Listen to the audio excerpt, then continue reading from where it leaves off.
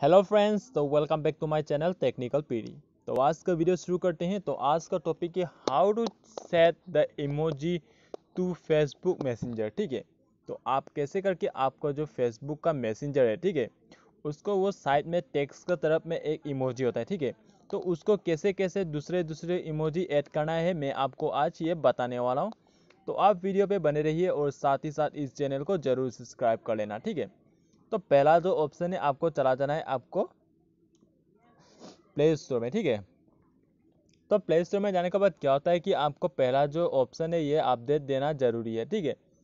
इसको अपडेट दे देना, क्योंकि ये अपडेट नहीं होने से भी ये प्रॉब्लम जो है, आते रहता है, ठीक है? किसी किसी का तो अपडेट दे देना आपको। तो इसके लिए सेकेंड ऑप्शन जो है, आपको मैसेंजर में जाना है, ठीक है? तो आपको मैसेंजर में जाने के बाद क्या होता है कि आपको यहाँ में बहुत सारा ऑप्शन जो यहाँ में शो कर जाएगा, ठीक है?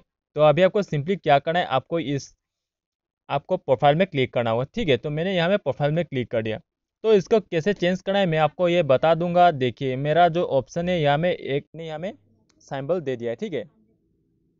यह बॉक्सिंग का साइम्बल मैंने यहाँ में दिया हुआ है। तो इसको कैसे चेंज करना है, मैं आपको बता दूँगा। तो आप वीडियो पे बने रहिए और वीडियो को स्किप मत करना, ठीक है? वीडियो को स्किप करने से क्या होगा कि आपको कुछ समझ में नहीं आएगा और आपका यहाँ में झुटमुट का टाइम वेस्ट भी हो जाएगा। क्योंकि मैं यहाँ में हंड्रेड परसेंट सोल्यूशन आपको बता रहा हूँ, ये करने के बाद आपको दूसरा वीडियो देखने के लिए ज़रूरत नहीं होगा, ठीक है? तो अभी आपको सिंपली क्या करना है, आपको आई बटन ऊपर में क्लिक करना होगा, ठीक है? राइट साइड तो मैं दिया हुआ है, मैं आपको यहाँ में दिखा दे रहा हूँ, ठीक है? तो यहाँ में क्लिक करने के बाद क्या होता है कि यहाँ में इमोजी का साइन जो यहाँ में ऑप्शन मिल जाएगा, ठीक है सेकेंड में। तो अभी आपको क्या करना पड़ेगा सिंपली इमोजी में क्लिक करना होगा। आपका कोई भी वहाँ में देने के लिए आपको ऑप्शन यहाँ में बहुत सारा ऑप्शन जो यहाँ में शो कर जाएगा, ठीक है? तो मैंने अभी दे दिया एग्ज़ाम्पल इसको ठीक है? तो मेरा जो यहाँ में इमोजी है मैं यहाँ में आपको शो करके दिखा दे रहा हूँ यहाँ में मेरा इमोजी जो है वो चेंज हो चुका है ठीक है? तो एग्ज़ाम्पल मैंने यहाँ में सेंड कर दिया ये ठीक है? तो इसको फिर से चेंज करने के लिए क्या करना पड़ेगा? आपको सेम प्रोसेस करना पड़ेगा ठीक है?